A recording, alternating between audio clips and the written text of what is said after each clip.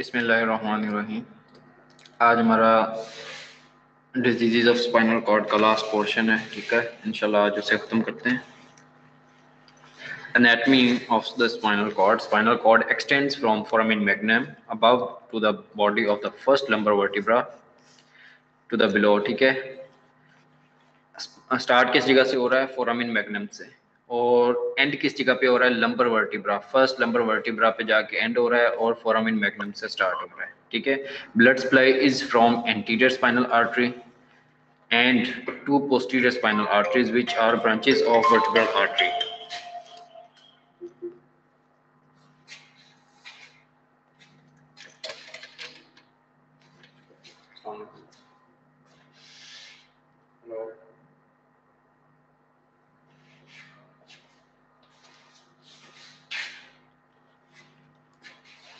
blood supply is from anterior spinal artery and two posterior spinal arteries, which are branches of vertebral artery, ठीक है?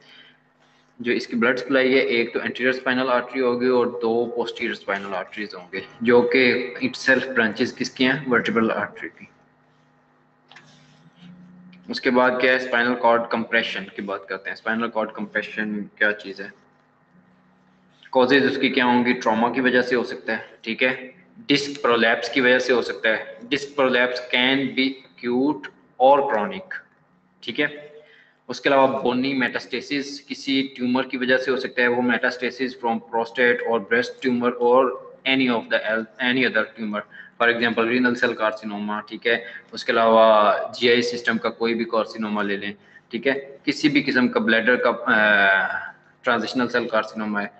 कोई भी carcinoma अगर metastasise होके bone तक पहुँचता है ठीक है? और आ, कौन सी बोन इधर स्पेसिफिकली हम बात कर रहे हैं? वर्टिब्रा की। वर्टिब्रा तक उसके मेटास्टेसिस होगी तो उसकी वजह से क्या हो सकता है? स्पाइनल कॉर्ड कंप्रेशन हो सकती है। उसके बाद multiple myeloma multiple myeloma is the tumour of the B lymphocytes B जब मेच्योर होते हैं तो उनको प्लाज्मा सेल बोलते हैं ठीक है? और प्लाज्मा सेल का जो ट्यूमर है उसको मल्टीपल माइलोमा का नाम देते हैं। इसमें मल्टीपल प्लाज्मा सेल्स होंगे, जिसकी वजह से वो एंटीबॉडीज प्रोड्यूस करेंगे एम प्रोटीन प्रोड्यूस करेंगे, ठीक है? और मल्टीपल माइलोमा स्पाइनल कॉर्ड को भी इन्वॉल्व स्पाइनल कॉर्ड को नहीं वर्टिब्रल कॉलम को भी इन्वॉल्व करेगा। वर्टिब्रल कॉलम को जब इन्वॉल्व करेगा बोन इरोड होगी। बोन इरोड होने की वजह से स्पाइनल कॉर्ड कंप्रेशन हो सकती है। उसके अलावा टीबी ऑफ़ द स्पाइन अगर स्पाइनल कॉर्ड की टीबी हो जाए, ठीक है?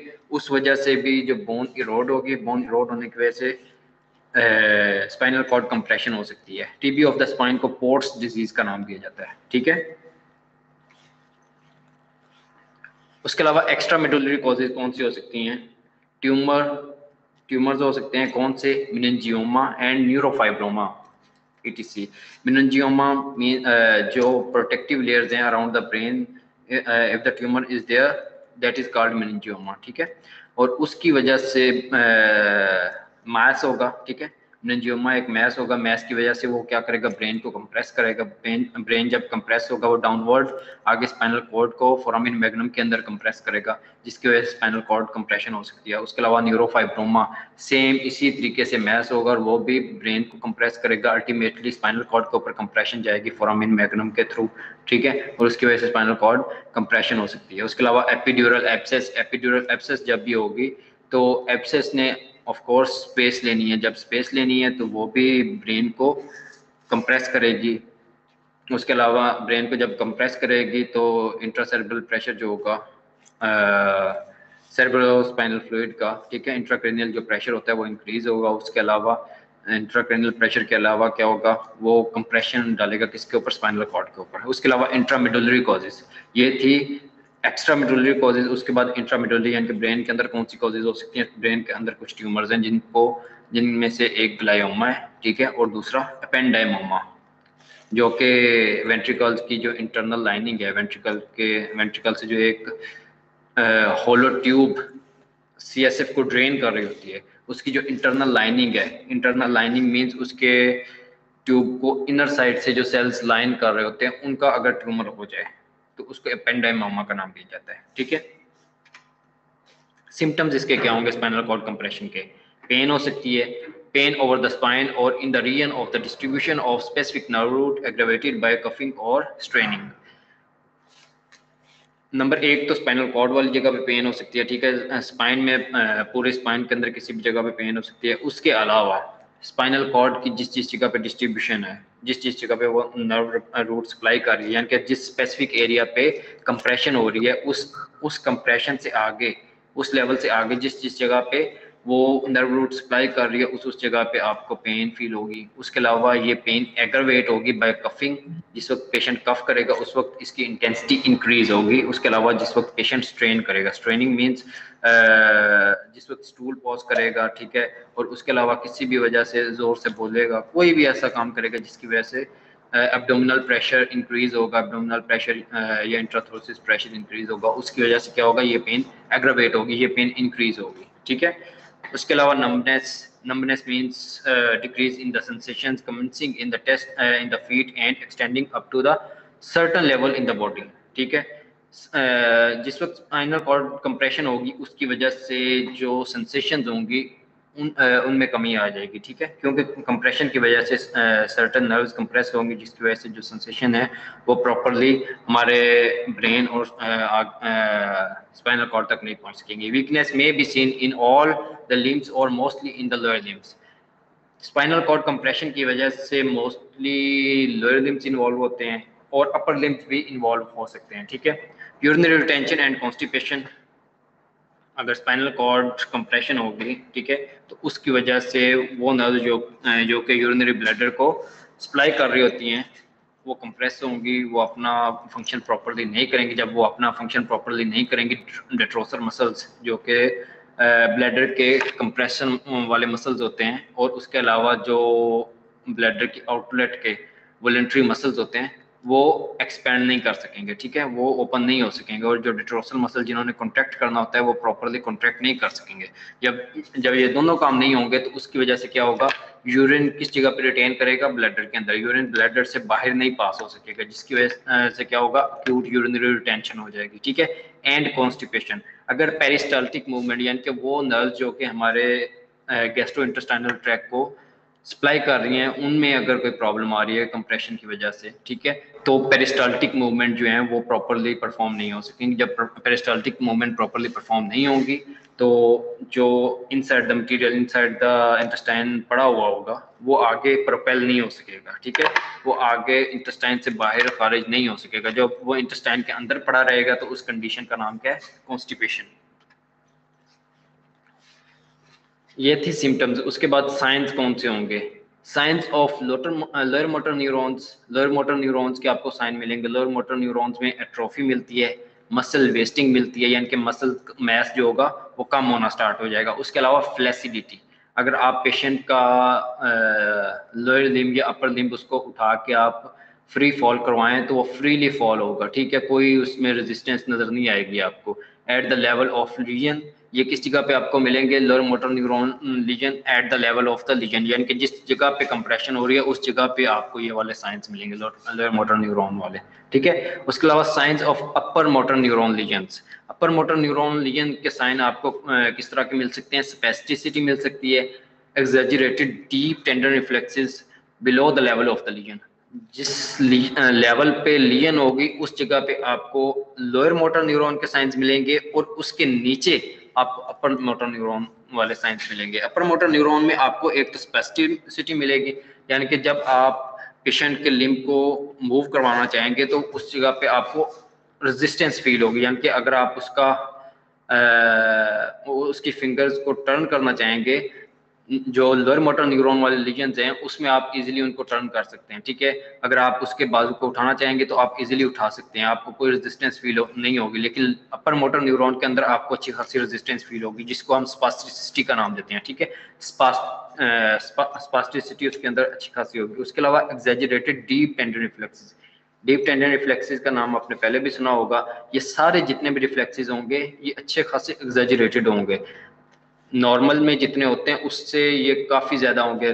थोड़ा सा हम यानी कि फॉर एग्जांपल नी रिफ्लेक्स अगर हम नॉर्मली चेक करते हैं, जितना के नॉर्मल में होता है, उससे कहीं ज़्यादा फोर्सफुल होगा, ठीक है, और अब्रप्ट होगा। उसके अलावा below the level of lesion किस जगह पे होंगे? ये लेवल ऑफ़ रीजन से नीचे आपको ये वाले मिलेंगे। Sensory loss extending from the feet almost up to the level of lesion ये जिस जगह पे लीजन होगी, उस जगह से नीचे और अप टू द लीजन यानी कि उस जगह तक सेंसरी लॉस भी आपको मिलेगा, ठीक है? यानी कि जिस जिस एरिया की नर्व सप्लाई लॉस होगी, उस उस जगह का सेंसरी लॉस भी आपको मिलेगा।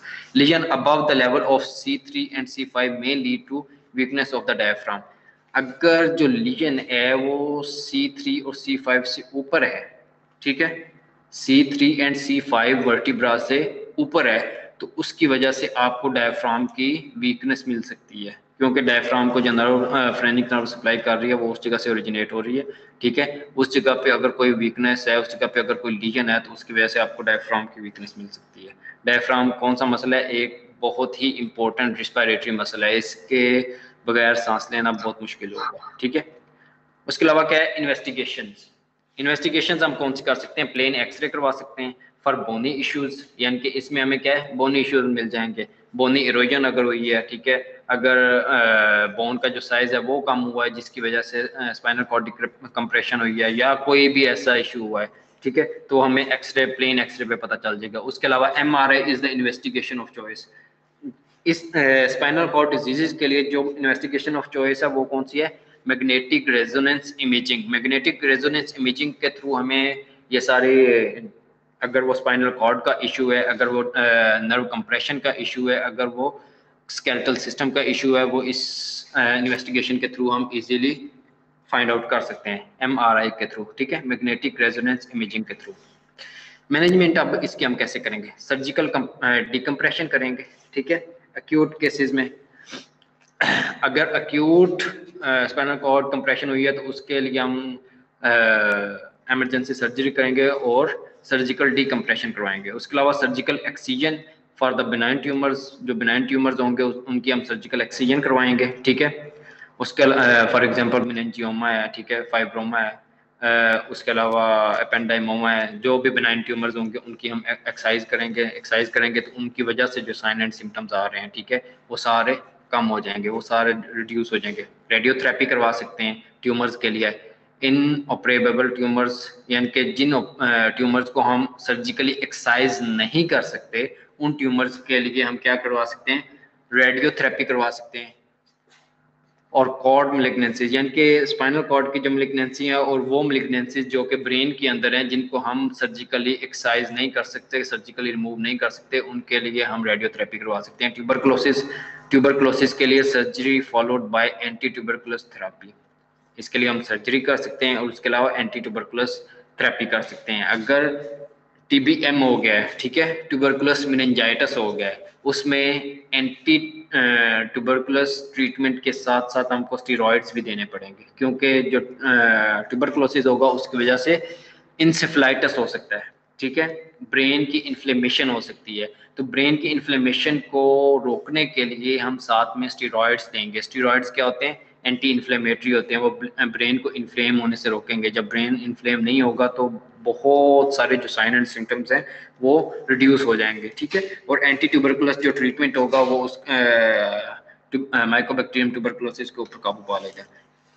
उसके बाद क्या है? Intrinsic lesions of the spinal cord अभी स्पाइनल कॉर्ड के इंट्रेंसिक लीजन्स कौन से हो सकती हैं कॉन्जेनिटल हो सकती हैं, जिसमें स्पाइना बाइफिटा है, ठीक है?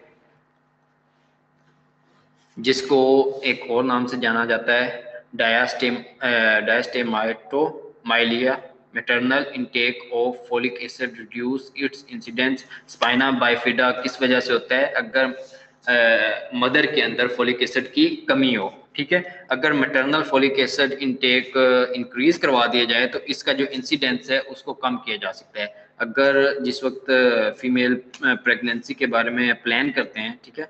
पेरेंट्स कोई भी प्रेगनेंसी के बारे में प्लान करते हैं तो प्लान करने के यानी कि एक से दो महीने पहले फीमेल को चाहिए कि वो फोलिक एसिड की जो टेबलेट्स हैं उनको स्टार्ट कर दें।